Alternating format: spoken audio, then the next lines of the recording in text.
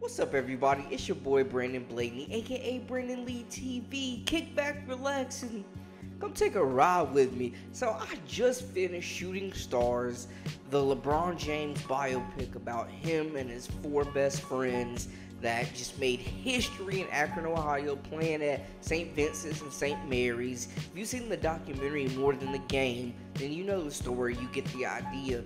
But this movie kind of, I think, gave a better explanation and detailed look into like the characters of the people and the kids. Like you kind of got to know them as teenagers more and kind of see that bond up close. Like the doc was cool.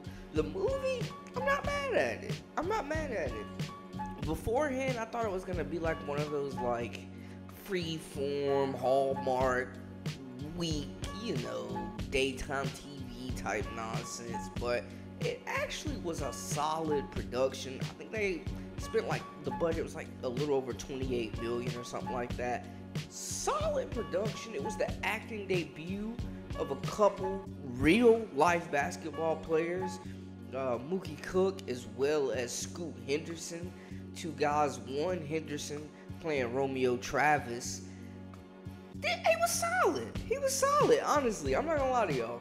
I mean, it, in the documentary, it kind of talks about how Romeo was standoffish. He wasn't really welcomed into that clique until later on. You know, had to get to know him. He was known as a hothead, and you can see he like the how him and Dru did not get along at all. So that was hilarious. But just seeing them, I will say though, man, how they ended up coming together in the movie, it was absolutely weakest fight scene of each other since we was like. I ain't gonna say all time, but one of the weakest.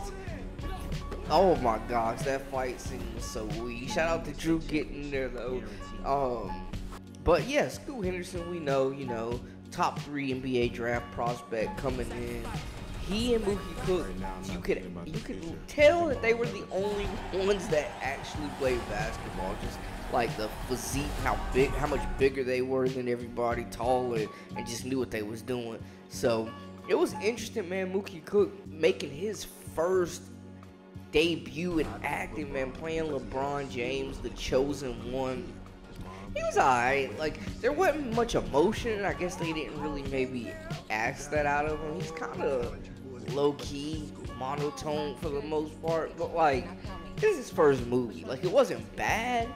Uh, it wasn't over the top either, and maybe that's a good thing. Like they kept him in his comfort zone um, in, in this particular film. You know, it, it, was fine. Like the story was well thought out. I think though it could have been longer. Like it kind of felt rushed through their like youth years and then getting into high school. Like it, it felt like it was pretty rushed. I think this was like a two hour minimum movie. You know what I'm saying? We mentioned Lil Dru, played by Caleb McLaughlin. If you've seen Stranger Things, uh, Concrete Cowboy. He's solid, man. I really think he's a good actor, one of the young up and coming actors, and he probably had the best performance in the whole movie, deservingly so. I mean, he he does this for a, a living. He's a real actor. You could tell, like, uh, he really had a lot of like outbursts and showed a lot of emotion, and really, I think, embraced the underdog role of Dru being sh- a short guard. You gotta, as a, sh- a, smaller guard on the basketball court, you gotta have that dog in you, and then you playing with, with two guys that were top athletes in the state, and Willie as well as LeBron James. So just to see him and Zion as well. So just to see that, you know, that dynamic of how he was kind of the reason that they ended up not going to their home school, Buchtel, and ended up going to St. Vincent's and St. Mary's because they offered him a chance to play there. And he wasn't getting any love at the home school. So he's like the, you know how it played out. Dru's like the reason that they end up going. But I thought his performance was really good. It was compelling. I enjoyed watching him. I think he really captured the character, man. Like Dru had that swagger, but also, man, that moxie too. Like he wasn't going for no nonsense. I do though. Of course, who else would they have playing a coach in a basketball movie about black kids other than Wood Harris? Love it, man. The OG, the legend, huge, huge fan. A Boogie, my God, Julius Kim. You know what I'm saying? The list goes on and on. I wish like we could have saw the father relationship dynamic more so between those two. I think that I wish we could have just explored it a little bit more, especially with them being two. Like I know, you know, the story's about LeBron and Cook, but like just to see those two kind of feed off each other a little bit more, I would have liked that personally. The young man Avery Willis Jr. was playing Willie, Willie McGee. I think he did an exceptional job as well. Willie, you kind of get to see like he got them first varsity minutes, and they talk about like even in the story in the past how he was one of the top athletes in the area, and he was the man at that point. You know, had been the MVP of their youth league, their middle school league, or whatever, and he came in with some big hype and he got them first varsity minutes before anybody really, you know, knew LeBron was gonna be who he was. You know, it was Willie's show, man. Had some injuries, but you know, you, you get to see like that dynamic how it started and then how LeBron became Bron and ascended like after his sophomore year.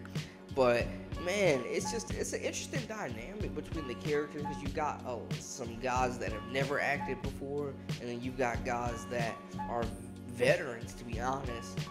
Um, I think that it's a good balance though, especially for the basketball scenes, because it actually looks coordinated, man. It looks good. Like it's not goofy looking. They actually look like they're hooping, and they actually have hoopers, so it looks like they're hooping because they just hooping.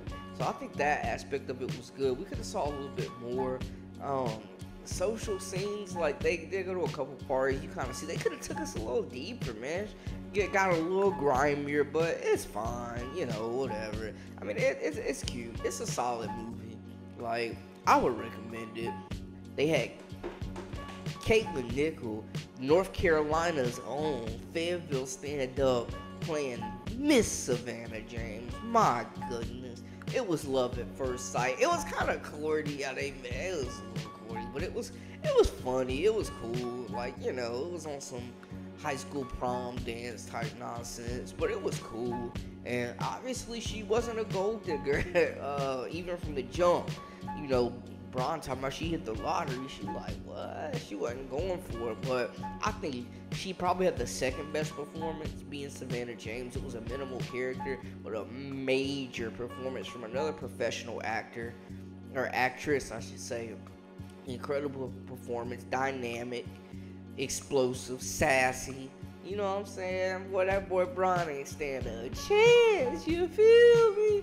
But yeah, like there are corny moments like the fighting, but it's cool to see, you know, how they grew and then brought in Romeo Travis to be one of the guys as well, you know. And I think Scoot does a good job of playing him and portraying him as just like this angry young kid who's upset and not really cool with the other guys. He be fighting.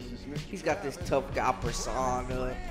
Uh, hey, Scoot had to sleep, man. He got the waves. They cut the man hair off and everything. Getting draft ready. But yeah, it was solid, man. Um, I think it's worth the watch. Like, it was pretty good. Um, and I think it does a good job of, like, humanizing them more so. Um, and it was cool too, tribute that the real guys were also in the movie.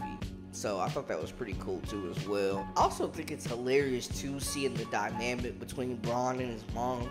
Yo, she be cooking, bro. I'm talking about roasting them. But so I love seeing that too, man. You don't really get to see them interact a whole lot. Like I said, it kind of feels a little rushed, to be honest. But you know, it, it's solid. You know, I mean, hey, you get twenty million dollars to make a it is what it is. But yeah, just I think examining those character dynamics, man, and just seeing how everybody kind of interacted and you know, kind of, I guess, went through life like their demeanor. And then you got Khalil Everage playing Sian. If you a fan of of Cobra Kai, then you done seen this man before, and he was solid too as well, man. And he's one of the better athletes. His story went to Ohio State, the only one of the group to to go to Ohio State. I'm sure, which was pretty cool. Play football, and you know, Dru ends up going to Akron playing for his old coach. So it's cool to see like the bond, how it how it started from boyhood and carried through to them becoming men and just bonding and staying close and still making money. Especially the other guys for being LeBron's friend and telling their story and being open about their experience Man, I could only imagine social media was out back then around that time. Because I know them boys was going crazy. The of Akron, though, man. But yeah, I mean, it was solid. I probably say like a six and a half out of ten. Like, I enjoyed it. I, I would recommend it. You know, I don't know if I'll watch it again, but it was solid first time through. Like, you know, there was a lot of publicity behind it. Uh, they did good with the promotion, but I think the supporting cast is strong. Also, Algee Smith, my guy Algee Smith playing Willie McGee's brother as well. I, for, I about forgot about my boy McCoy from Disturbia. We, we ain't seen bro. I mean from Euphoria. We ain't seen bro in a hot minute. So I was happy to see him doing his thing, being big bro to his boy Willie, the guardian of his younger brother. Man, taking a kid at 18, like raising your little brother when I could only imagine. So shout out to him. But I love when Big Bro got the new car and Willie pulled up in the joint before Bron got the Hummer, of course. Like, bro, was they the joint when they was high. I just remember being a young dude like that, man. Just being that age, being a teenager like that, man. Just pure adulterated fun. Just living the dream, man. I couldn't imagine having that type of attention on me though at that age and how those guys handled it. So salute to them. Another angle to where LeBron told his story, told the story of his guys and shed some spotlight on them, man. Cause he, you know, obviously he is who he is. So giving them a chance to you know, launch their own brands or do their own thing, get themselves known, get some notoriety, make some bread off their story too, because they was there as well, man. So it was amazing to see.